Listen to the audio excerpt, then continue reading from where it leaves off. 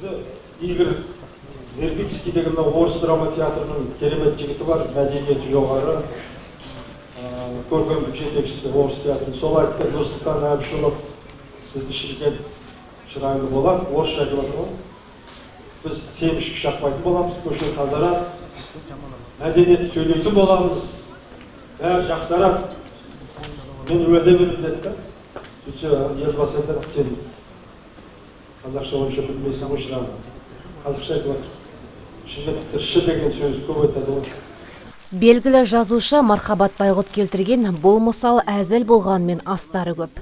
Мәдени астанаға лайықты болу үшін әрбір қазақ өзінен бастауы тиіс. Асыл қасиеттерді бойға сіңіру әуелден ақ айтылып келеді, айтыла да бермек. Қоғамдық форумдағы талқыланған негізгі тақырыптың бірі осы. Мақсат айқын, міндеттер белгілі болғанымен әлі де кемшіліктер түзелмей келеді. Бұл ретте жас өкілдері де өз ұсыныстарын жеткізуде. бірінші қадам тәртіп сақшыларын түзеу керек. Тәртіп сақшыларын полицейлер. Ә, қайырымды қаланың полицейлері түзелу керек. Ә, кейін одан кейін дәрігерлер түзелу керек.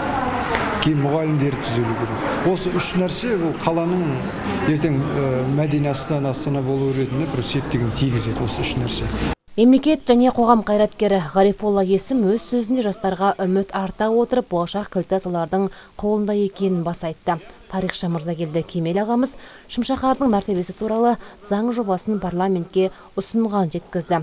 Ал қалалық ішкі саясат және дін істері басқармасының басшысы Жанар Бектаева өз сөзінде бір жеңнен қол, бір жағадан бас шығарып атқарған істер ұшан теңіз. Әлі де шешімін күтетін қиындықтар мен күрделі түйіндер аз емес деді. біздің шымкент үшін бұл керек өйткені біз шынында да қайырымды қалаға айналуға мүмкіндігі бар қаламыз өйткені бізде күн көп шуақ көп. Біздің адамдарымыз күліп жүреді.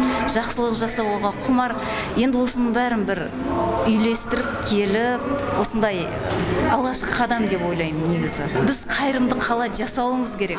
Сол кезде біз қайырымды боламыз. Ал қайырымды қаланы менің ойымша адамдар осы қаланың тұрғындары жасайды. Еліміздегі білім беру ісінің құрметті қызметкері Есен Омар секілді ел ағалары болса, Шымкенттің қайырымды қала мегаполис болуы жайлы тың ойларын ортаға салды. Махаббат Абдешева, Нұркен Жалбиев, Нұрлан Бексаидов, Нар Ньюс.